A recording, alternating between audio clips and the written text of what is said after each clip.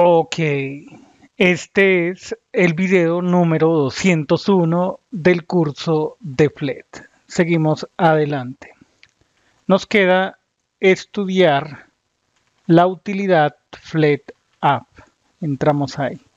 Bueno, aquí prácticamente no hay mucho. Aún así podemos entender de qué se trata.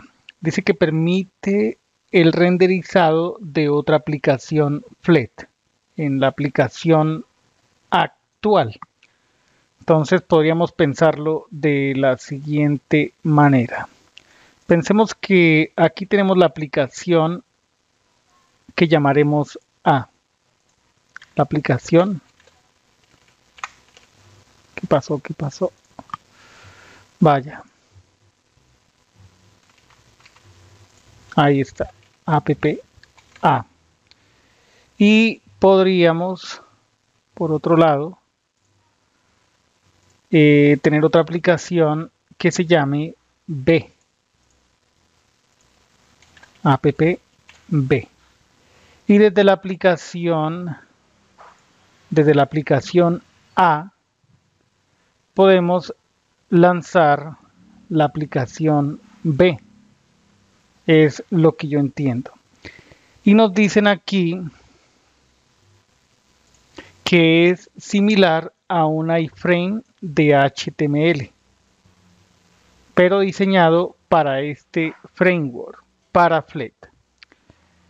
Ese objeto tiene una propiedad que es URL, donde se encuentra el otro recurso.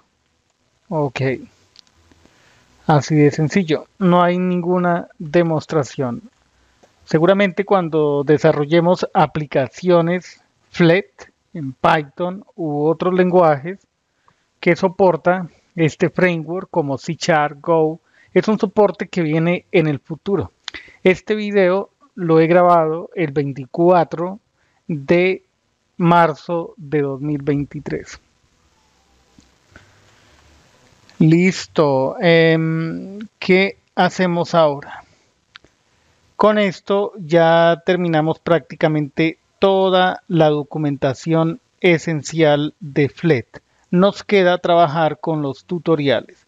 Hasta el momento hemos desarrollado la aplicación de tomar nota de tareas a realizar a ver, aquí donde dice tutoriales tenemos la calculadora y el to Ahí está todo el código de la primera aplicación to eh, por aquí la de la calculadora,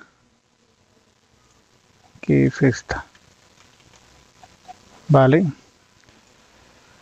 Listo, listo. Bueno. Ya en el siguiente video eh, prácticamente nos enfocaremos en los tutoriales. Esta aplicación Trello también la vamos a duplicar. Entenderemos cómo se construyó. Listo, es, es bastante extenso, pero ahí tendremos trabajo significativo que nos ayudará eh, a afianzar esto que hemos desarrollado a lo largo de las demostraciones de los distintos componentes, utilidades y elementos de una aplicación FLET. Los, los pondremos en práctica. Ese será nuestro objetivo de aquí en adelante. Es decir, que ya estamos próximos a terminar este curso.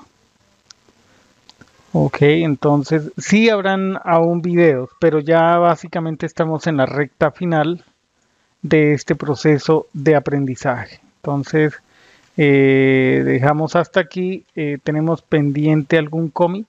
No.